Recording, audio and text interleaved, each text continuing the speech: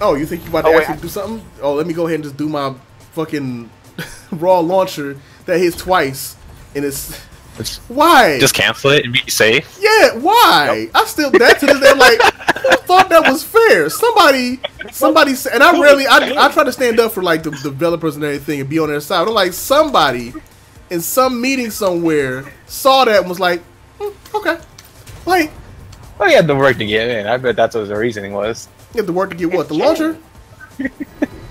uh, dude, it's been so many times I'm just sitting there doing my thing. I'm like, I'm gonna go in, I'm gonna do this, do that.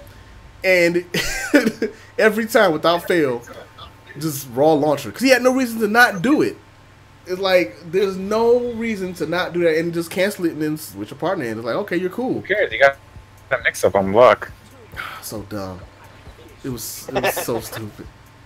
Oh, man. People talk about shit in this game, and I do too. And, they're, and rightfully so sometimes. But, ah, man. The reason I try and deal with it because, boy, Cross Tekken had some shit. And you had to learn how to deal with that shit. Like, you. Oh shit! What is this character? Who, Fong? I mean, Fong. Fong.